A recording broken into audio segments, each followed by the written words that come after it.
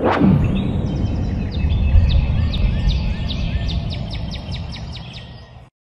there, lovely people. This is Sean. I'm at the lovely place, and today, guess what I'm doing? You guessed it. I am messing with my Case IH 75C tractor. There's something that I've been needing to do for a while now on this thing. Uh, you guys may have seen in a video when I had multiple issues within uh, two weeks of each other, and I had to get a service tech up here from the dealership to uh, take care of a little problem. And the problem was the linkage in the clutch, uh, that with the clutch cable linkage. Uh, there's a nut that apparently it's happened before to, to others that backed off and the linkage kind of came apart and I lost my shuttle shift and, and I lost my clutch. And so I was in a bad spot, kind of stranded up there at the front of the property for a little while. But I don't know if I've told you lately enough that I do love this Case 75C. This thing, it, it's, it's, I'm happy with it. I mean, I've never owned a tractor before in my life. This is the one I settled on and uh, it's, it, it's doing the job. Yeah, it's, it's had a couple of quirks, but I'm guessing maybe a lot of them do. But anyway, I was wanting to take you along with me on this little, uh, I guess it's not a repair, it's a preventative maintenance issue. I'm hoping in this big old box of uh, bolts and nuts that I have a nut that I can, I'm hoping this one will work, that I can fit on that other nut or on that other bolt right above that other nut so that I can prevent it from backing off. One of you guys, my awesome subscribers actually told me that that's what y'all did and it makes all the sense in the world. So let me adjust this camera real quick here and see if we can get the light up there on that nut. It's in a, let's see, it's in a tight spot at the top of that turnbuckle right there. You can see it. It's i think it's a golden color. I just shine the light on it a little bit better. And so i'm going to see if that'll tighten down a little bit and then i'm going to see if this other nut can uh you know go on there to lock it in place and hopefully that thing will never back off again. Because i'm concerned that if it backed off once and it made this linkage all come apart uh, that it'll do it again. And uh, we replaced the spring the spring popped off when that happened, that spring you see back there. And we put a brand new spring on it. Uh, back when this was repaired, they told me that the spring that they, um, you know, put on it from the manufacturing facility uh, was having some issues and potentially causing this. I'm not sure if it if it caused it or if it was just the nut backing off that caused it. But in any case, they did bring a new spring, which was a little shorter than the previous spring. So it's got a lot more tension than it had before. I'll try to link that video of that repair to this uh, video so you can take a look at it. But yeah, let's see if we can get this nut on here and get this thing locked down permanently. Too big.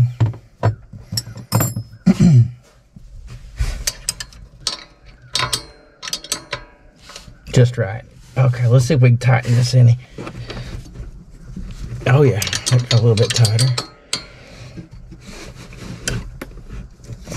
Don't want to overdo it.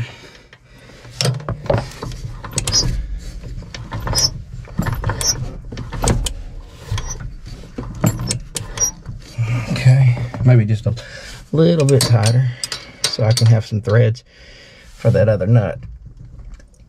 All right, that's gonna do it. Now, let's see if this next nut will fit on there.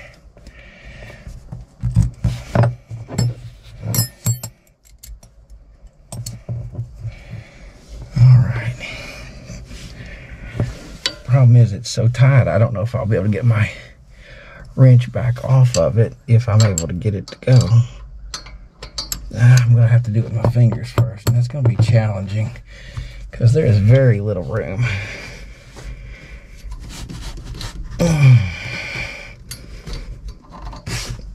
Probably will drop it. I did. I found it though. Oh, that's tight. Okay, there is just no easy way in there with these fingers. Okay, let's see if I can stick it between the finger and. Mm.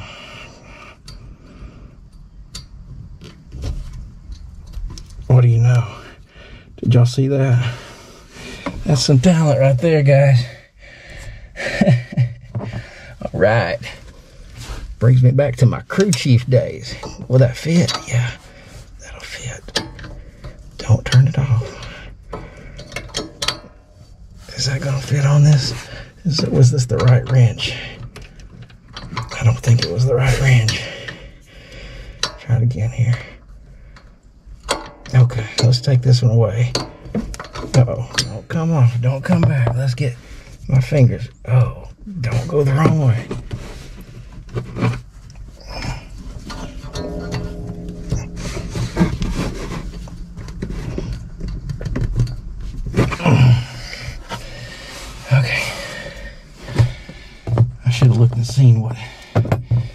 Size that was that fitted. Let's try this again. This won't even fit. Let's try the opened end.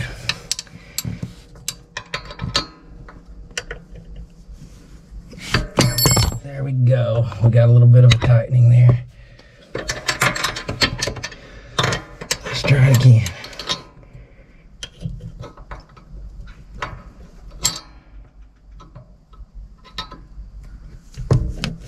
There it is. Okay, let's keep going.